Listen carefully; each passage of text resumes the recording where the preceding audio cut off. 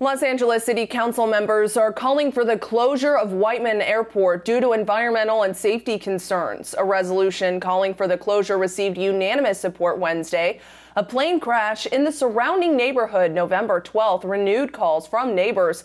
Councilwoman Monica Rodriguez says the airport impacts the safety of residents and also contributes to major pollution.